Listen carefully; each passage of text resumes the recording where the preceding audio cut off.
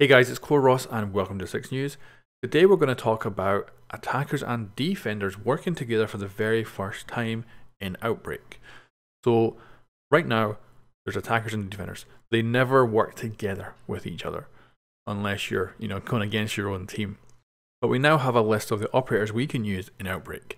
So it's the new Chimera operators. It's Smoke, Ying, Buck, Kapkan, Ash, Doc, Tachanka, Glaz, and the Recruit.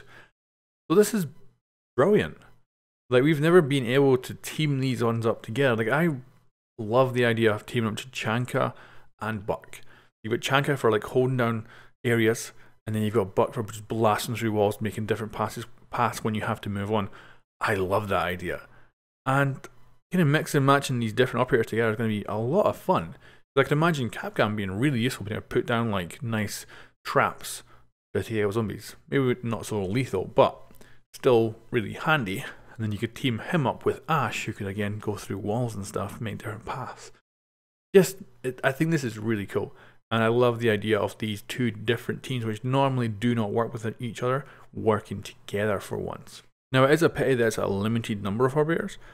And hopefully, if they do have more of these feature co op events in, in the future, we get to see different teammates from the attack and defense working together in different ways. And I think it could be really, really cool.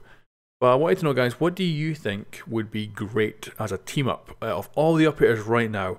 Who would you team up with each other to kick ass in this zombie apocalypse? Anyway, guys, thanks for watching, and I'll catch you next time.